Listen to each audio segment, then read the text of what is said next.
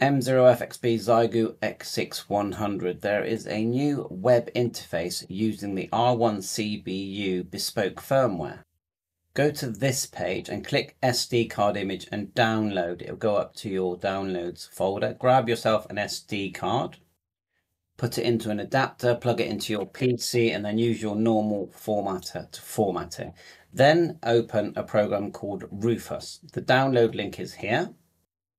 And when you open it, this is the download link in the description. And when you open Rufus, just go to search it in your search for, I'm on Windows 11, put Rufus and you want the one that's called app and it would open up.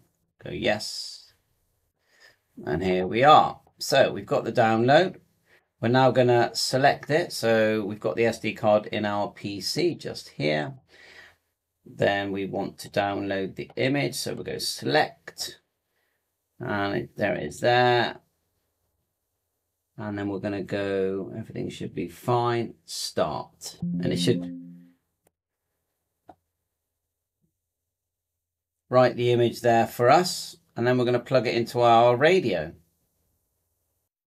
Okay, then put the SD card in the normal place turn on, fold your finger down, you know if it's right, because when it starts to turn on, you'll get this sort of wolf appear, like so. Give it a minute to boot up. Of course, I've done lots of videos on this already, but today I'm just going to show you the web browser, show you how to connect the Wi-Fi, and then look at the web browser, which I've not really used. There we are, looking great already. And it does work great and it's got FT8 receive and receive and transmit on screen. But anyway, that's not why we're here. So hit the app and then go, and again, the app button, cord app, until you see Wi-Fi. Now press Wi-Fi. You'll get to this. Now I've already connected mine, so you have to turn it on with this button here the first button, okay? Turns it on, then hit scan, it will scan. And, and once you hit scan, then you can select the one you want to connect to. You select the one, let's just say we want to connect to this one.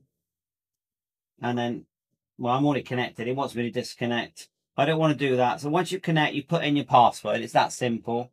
Um, type in your password. The number one changes you to numbers. You've got uh, capitals and lowercase there on the far left. Uh, so anyway, we're connect, all connected up. We can now hit the general button here. And now go over to the IP address. When you actually, I should have showed you. Press the app again.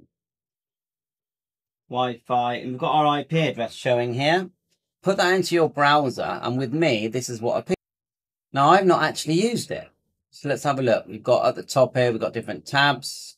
It's called the X6100 configurator. General, you've got allow bands editor. Allow to add, change, remove bands. Active column is to bind band up down buttons. Digital modes editor, add, change, remove frequencies for FT8, FT4. File browser allows to download files from the data partition of the SD card, ADI file, screenshots, recordings. Note there is a small probability that the something there might be changing. Okay, well, it's very technical. So we've got that bands editor. Okay, so at the moment, start, stop is 1.82. So let's just say we want to edit it. It says it's active. And what are we seeing here? Ooh.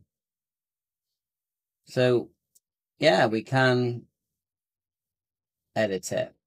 I'll leave it for now. And then we'll go to, uh, just click tick. Add new band. Ooh. Well, you got CB bands there, look. Um, I know everyone wants CB, don't they? CBAM. Does it allow me to do FM? I don't think so. Um, let's just click out of that one.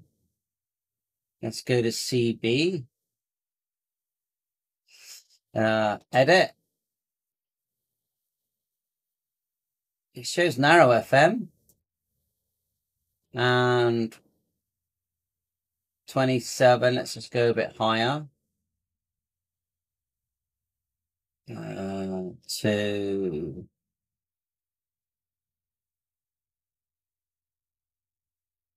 I'll go all the way to nearly 28.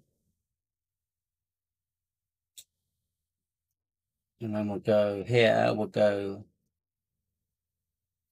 down a bit. CBD. Didn't know you could have D. Tick. There you are. I'm not sure what will happen, but uh, so bands, digital modes. And if I go to tick one here, edit one, frequency, file browser, we've seen time edit. Oh, we do the time, which is right at the moment. Input time, manually update, sync to local server, done that. Update time host, UTC. I think mine's right at the moment. Okay, we'll give it a go, you know. You can see I'm new to this. And then, um, but you know, I saw it today and I thought, well, I've got to try that out.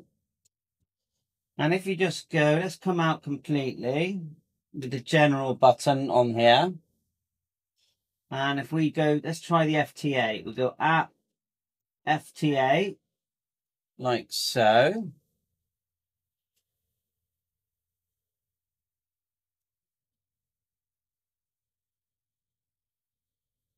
And then it populates. I mean, it's such good. I mean, if you've got an X6 because I actually, I like them both, but I, and I, there's a lot of things about the 200 that I do like. It's sleek design. Um, it feels more, I don't know, more, it's hard to say. It feels more sort of modern, but anyway. Um, so if we go TX enabled, now you do need to get your call sign in, so let's get that in there now. It's already decoding. So if we press here on page, keep pressing, one of them I'm sure says call sign. Don't worry, we'll find it. So you back out with the gen button, then you hit the app, and then you keep pressing, don't press FT8 yet, keep pressing app, then call sign, and then here we can start typing in our call sign. We're not typing in, so you could actually you can plug a key. Look, it's not letting me do that, so I'm going to plug a keyboard in. Right, okay, in the end, I'm going to use the screen. So we want to go to ABC here, and then go M. Is it going to let me put M in? Oh, that funny. It won't let me if I hold it.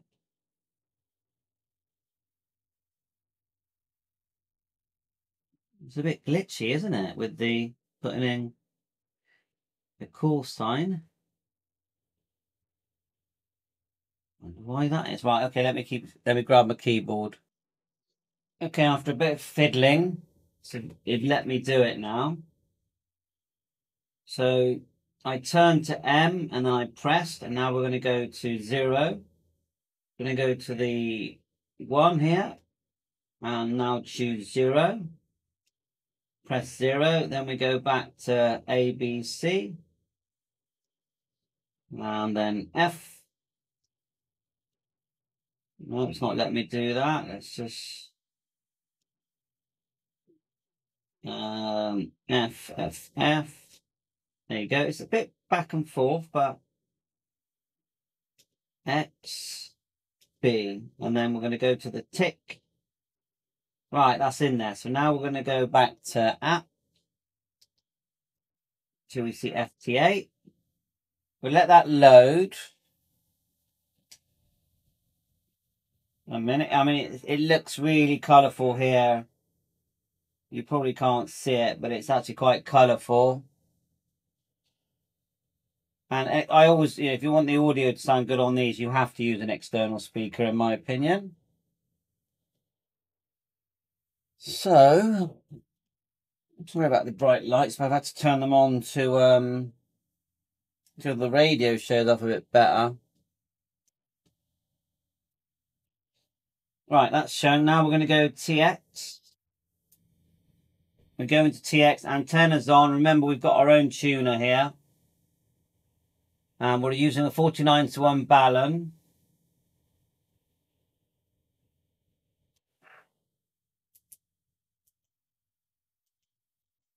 The antenna's on, the tuner is on. Shouldn't be that bad anyway. Let's let it call a couple of times. So remember to um, definitely check out the new browser. The link's in the description. We have got a red already, so I would say we've already got a reply. G0FGI. We'll just let it run through. Moving away from that bright light long.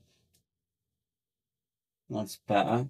So, you know, a lot of people do try and slate the X6 100, but and because of the the famous thing that spreads around is the word birdies. But take it from me, the birdies have zero effect effect on going on air, having HF contacts voice, using FT8, the things that this, you know, using your antenna tuner, the things that this portable set was designed to do, yeah, all work great, yeah.